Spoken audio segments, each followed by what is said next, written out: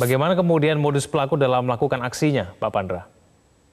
Dalam melakukan aksinya, dari hasil pemeriksaan yang dilakukan oleh Polsek Datang Polresta Bandar Lampung, ya ini diakui bahwa sebenarnya pelaku ini melakukan aksinya berangkat dari rumah adalah uh, untuk pergi ke tempat suatu yang memang dia tidak sampaikan kepada suaminya karena suaminya adalah seorang pekerja buruh dan juga dia datang melihat bagaimana ada kelemahan daripada korban yang akan jadi sasaran. Jadi ini adalah menurut pengakuannya adalah sasaran kedua, di mana sasaran pertama di wilayah Kota Bandar Lampung karena tidak memungkinkan cukup ketat, artinya pelaku ini masuk ke.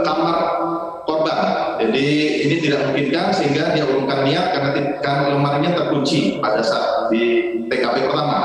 Dan pada TKP 2 barulah dia cari suatu tempat yang lengang, artinya tidak ada pengawasan, tapi lama-lama ya akan diketahui oleh pihak keluarga itu juga. Ini cara bekerja dia seperti itu. Dan kita bisa dapatkan beberapa barang bukti yang sebagaimana yang disampaikan tadi daripada korban dan korban melaporkan pada pihak kepolisian pemeriksaan dan proses lebih lanjut. Dan ini menjadikan perhatian bagi kita semua, Mas Tegan.